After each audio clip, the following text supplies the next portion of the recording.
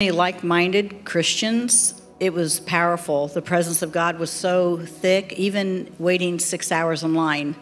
So we met some awesome Christian men and women who have some amazing podcasts.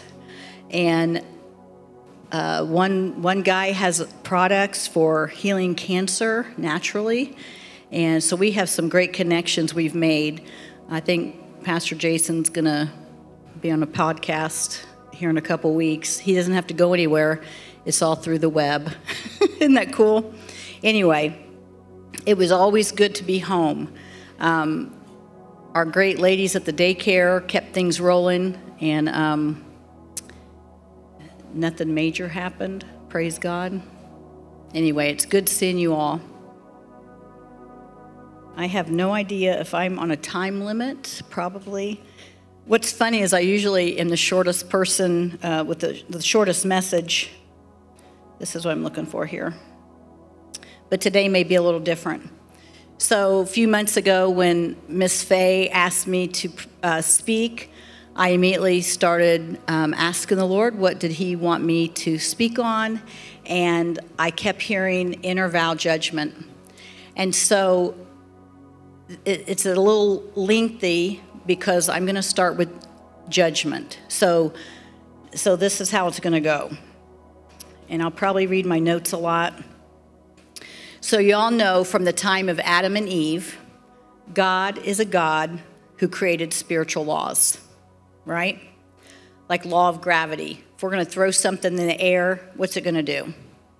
Unless it's helium, it's going to fall. It's going to fall right back to the ground. So there are three laws we're going to I'm going to speak on today and really just asking the Lord to have ears to hear, um, hearts to receive, hearts to check. You know, it's always good as Christians to check where we are in life with attitudes. Um, the three laws law of judgment, law of sowing and reaping, and law of inner. So I'm going to just try to touch a little bit on each one and I do not have the paper to pass out, but I will have it. So you're going to have a little take home sheet, and it is going to be an awesome little prayer. I'm going to copy it here in a little bit, and before you guys go to lunch, you can grab one or after lunch. How's that? It's powerful. So, Matthew 7 1 3. Judge not that you be not judged. For with what judgment you judge, you will be judged. And with the measure you use, it will be measured back to you. Okay, we all kind of know that verse, don't we? Let's, if we've been a Christian very long, you're going to know that verse. To judge. So Jesus says, Judge not that you not be judged. For with that judgment you will be judged, and the measure you use will be measured back to you. So, one way that we judge this is who you are. Have we ever in a time said these things? And probably all of us can say yes. we look at a person, this is who you are, this is what you do, and this is who you will always be. Those are three ways we judge, right? That's, that's pretty typical. Um, other examples men with long hair, older people, maybe judging the younger, younger generation for um, reckless and out of touch, right? Young people judging the older generations that we just don't get it and are never going to understand, right? I mean, these are just things, these are just easy little examples hardworking people may judge people who are lazy. People who have money and are wealthy may judge those who are less fortunate and don't have anything. These are just areas in our life at some point we could judge. So there was a time when we were first married, we were in a church here for about nine, ten months here in Martinsville, but God moved us up to a church on the north side of Indy. And we walked in there and it was pretty wild. I mean, it was it was like a church with an open heaven. I mean, it was powerful what God was doing in the place. But there was all kinds of variety of people. Now, you know, from Martinsville, you go up somewhere, I mean, you're seeing different colors of hair, and this was 11, 12 years ago. So it's not what we see now. It wasn't normal in Martinsville at that time. So we go up there, not only the hair, the tattoos that were just everywhere, not a little tattoo. You know, this is my mind, this is what I'm thinking. So immediately, the Lord brought into my heart, hey, you are judging. I mean, immediate. Like I wasn't hardly there any weeks at all. And He started dealing with my heart.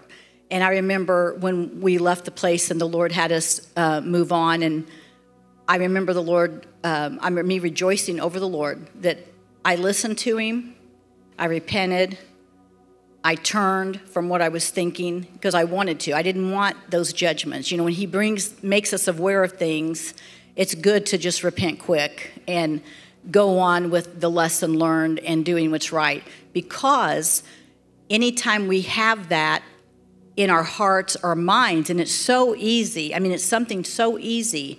The smallest thing can trigger it back to come right back. Um, we, we lose out on God's other fruit, right? So, like Miss Ashley said, like none of us know what each other's speaking today, and she starts with a charge.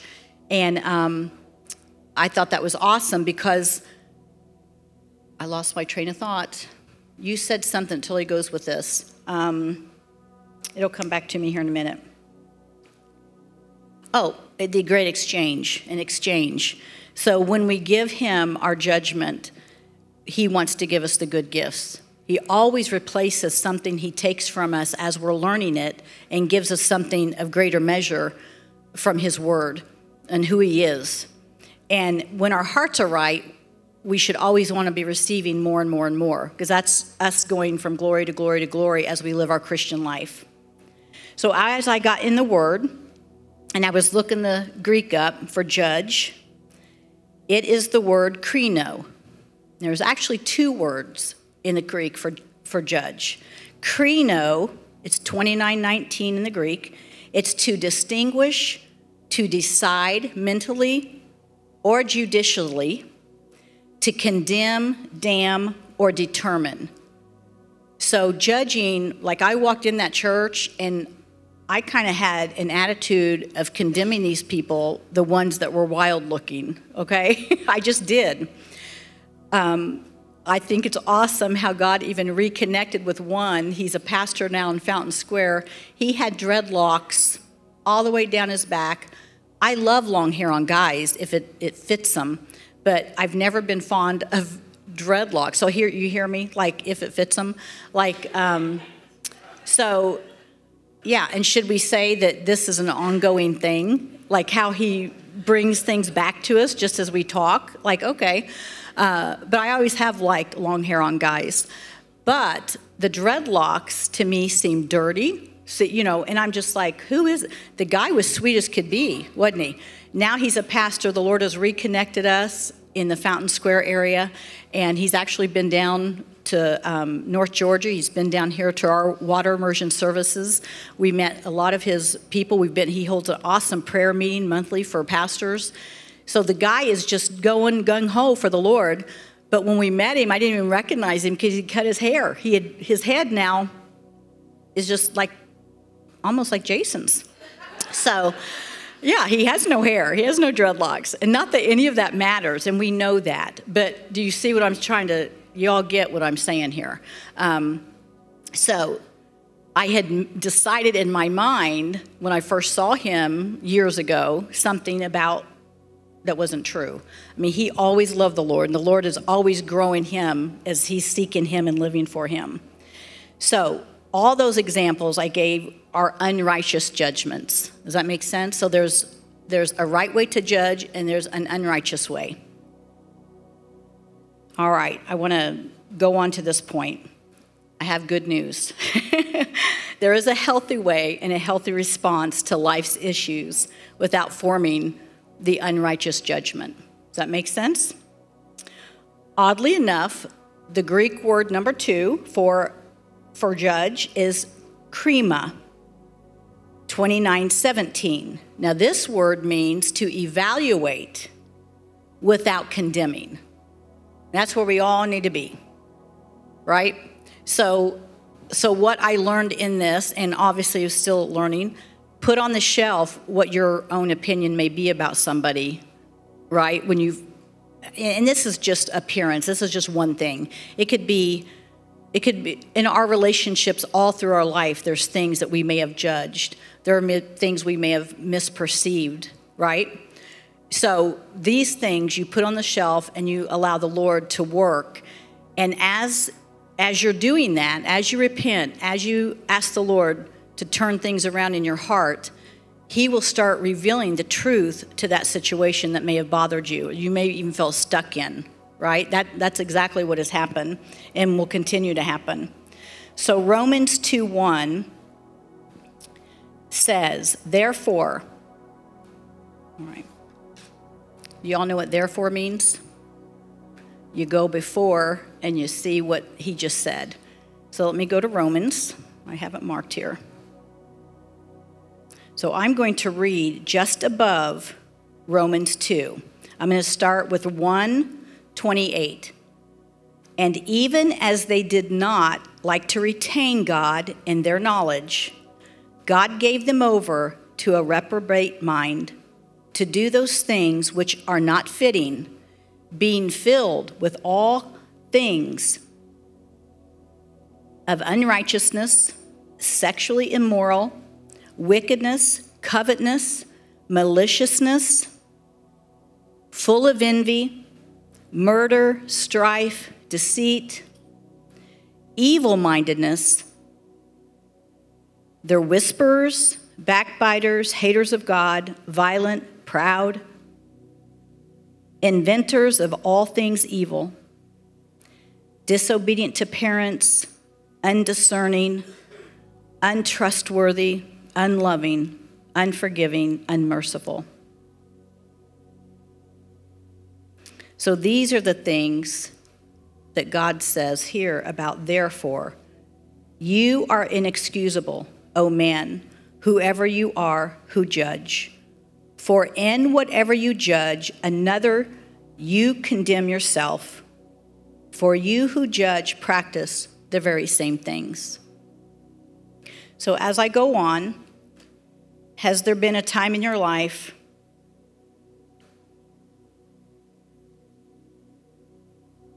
where you may have judged in a way I will not?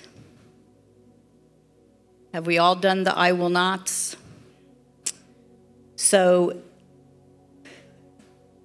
these are the inner vow judgments. I will never walk away. I'll never be like my mom. I'll never be like my dad. I'm never going to drink. There was a young man when he was a boy, his father was an alcoholic. He hated and despised that from the time it took from him. You know, if the dad was drunk, the dad was never home, lost that time of his boyhood and childhood with his father. So he grows up and he says, I'm never going to drink. And that is an inner vow he made to where it's exactly what he did. And we probably all can see one thing, maybe one, maybe more, but there's things we've said, I will never and then we've seen ourselves fall into that. That's an inner vow. The key to freedom is to break the inner vow, acknowledge the pain of the situation, release forgiveness, and renounce the inner vow. And that's what the sheet I have that I'm going to print out. It's an awesome little prayer. And you'll all get to take it home and do it because we're not going to have time. Also, if we get in the water later, anybody that wants to get in the water and just leave those things with Jesus, that's another way. The enemy is a legalistic, the one who brings charges against us, like the prosecutor. Jesus is our attorney, and God is our judge. As freedom occurs, the Lord loves replacing our junk for his good gifts. I want to share real quick about sowing and reaping. In Galatians 6, 7, and 8, Do not be deceived. God is not mocked. For whatever a man sows, that he will also reap. For he who sows to his flesh will reap the flesh of corruption. But he who sows to the Spirit will of the Spirit reap everlasting life. God's laws do not change. What we sow, we will reap, whether it's good or bad. Now, does God listen to our heart's cry when we forgive? He absolutely does. Does He have freedom and healing for us? Yes, He absolutely does. There are many times He will work quick when we humble ourselves. He turns things around quickly. He wants us to be on the right path in right relationships with people. He is the greatest of restoring relationships and reconciling friendships. He just is. That's just what He does. He is so faithful. Also, when we speak, I will never, going back here a minute, it makes us the judge, the jury, and the executioner. I missed that on my notes.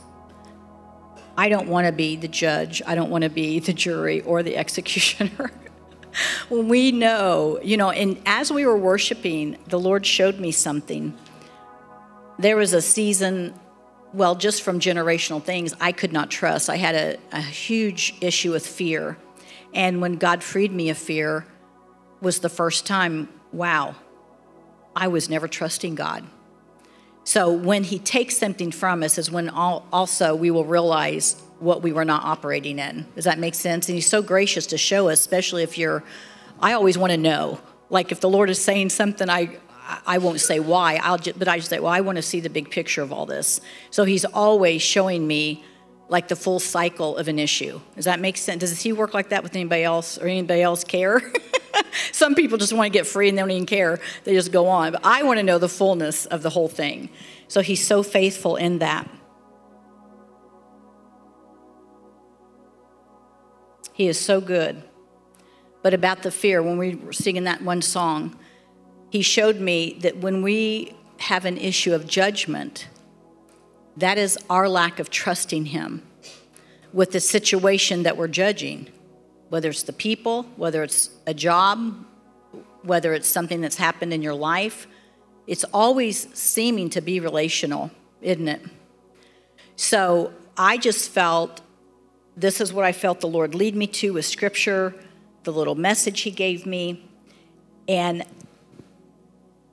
I know when we first talked about all this, we felt as a team impartation would take place. So I think I am just kind of going to end with a just a little prayer or um, something we can receive if we would all just stand and maybe raise our hands.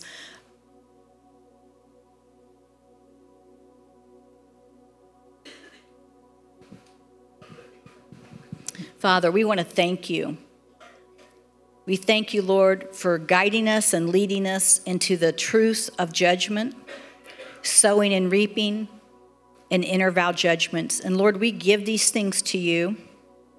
We thank you, Father, for your grace, graciousness, for your mercies are new every day. We thank you, Father, for your love. Lord, we would just impart to the people what you have from heaven, that they could get over this if this is an issue in their life. There's a reason, Lord, you haven't had me bring it up today. Any person here, whether they go home and then they realize such and such, I just ask God for your graces and mercies to be about every person who's hearing my voice. And this place of judgment that they could operate in, you would tear down and bring to them every good and perfect gift you have. We just impart, Lord, to them the graces and mercies of who you are and your love. And give them understanding. Lord, that is true. Understanding brings extra healing, it, it gives you the full picture of things. So, do we just release understanding and have hearts to quick to forgive, the quickness to forgive? We love you, Lord, and we praise you for who you are. In Jesus' name we pray. Amen. Amen. And I obviously need to share the 12 grandkids. I'll end with the introduction. How's that? So we've got 12 grandkids, ages 9 to almost 1 now. Oh my word. Time flies. Anybody else here know how time flies? You can't even make it up. Like, so busy. We love every one of them and love their little personalities and seeing them grow. We are busy with life, but it's all good, isn't it? All right. Oh, I'm supposed to look at that screen. Our five sons. Can't forget the five sons where three of them have all the 12 kids. My two sons have not began yet, which is fine. Give us a little time to enjoy the 12 before the next set comes, right? Anyway, we love our kids, and I know all you ladies here are great mothers and grandmothers, and um, it's just great that you've taken this time this morning to be with us. And we are excited to see what God's going to be doing today through our hearts, in our hearts, through His Spirit, bringing more things out of us. It's exciting. The growth of Christian life is exciting, isn't it? You can always look back and see seasons of where He's stretching you, growing you, and sometimes it seems painful, but it is worth it. It is so worth serving Him and loving Him. All right, thanks for your time. Get out and vote early.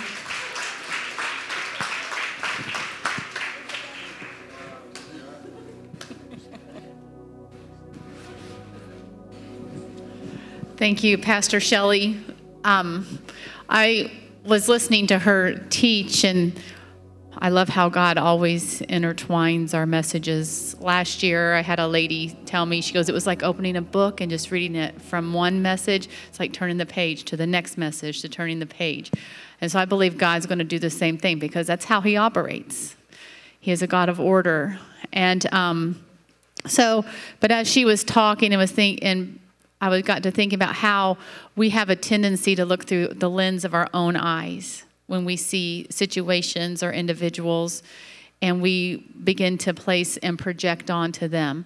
The beginning of this year, the Lord spoke to me, and He usually kind of pours into me. He's like, "Hey, there's three things I want you to focus on, or there's one thing I want you to focus on." This year, there was three, and the first one was don't project which means that I couldn't take the things that are my insecurities, the hurts, the pains, the fears, the rejections that I've experienced in my life, and project them onto the people that God was bringing into my life.